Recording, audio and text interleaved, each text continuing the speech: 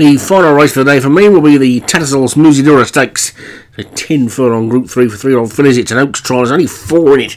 Ivan Zika, Martin Leadham, Nature Queen, Leon Van Rensburg, Sarah Ballantyne, Padraig Hogan, and White Wizard for Derek Hinton. The Leon horse should be about 6 to 1 on, I think.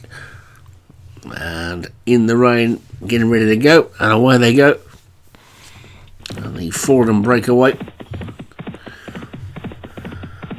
with White Wizard in front, or White Wizard in the lead.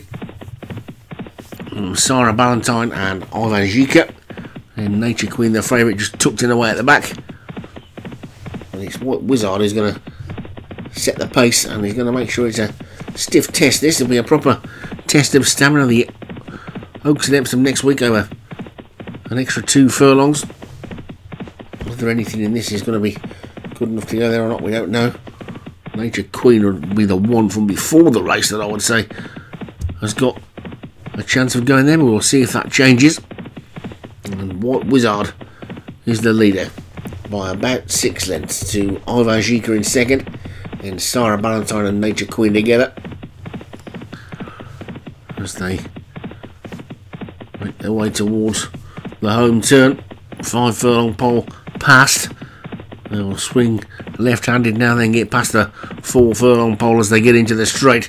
And White Wizard is in the lead for Derek Hinton. Sarah Ballantyne second for Padraig Hogan. Then Ivan Zika third. Nature's Queen on the outside for Leon is now starting to make a forward move and looks pretty ominous. But White Wizard is keeping on in front with three furlongs to go. White Wizard in the lead. Sarah Ballantyne, Ivan Zika, Nature's Queen as they head up the straight. And Nature's Queen is not asserted yet, and White Wizard is now kicked on again. White Wizard in the lead by three lengths. Now he says go on Nature Queen, and she starts to try to close, but White Wizard is responding better and is maybe even pulling away as they come down towards this final furlong.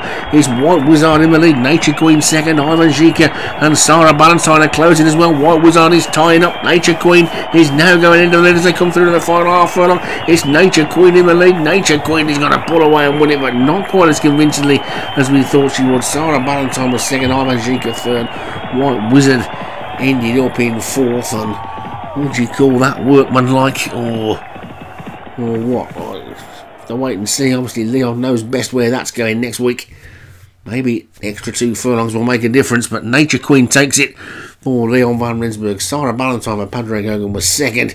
Ivan Zika for Martin Leadham was third, and White Wizard, the long-time leader for Derek Hinton, was fourth. That's me done for day two. Gray's going to take you through the rest of day two's races.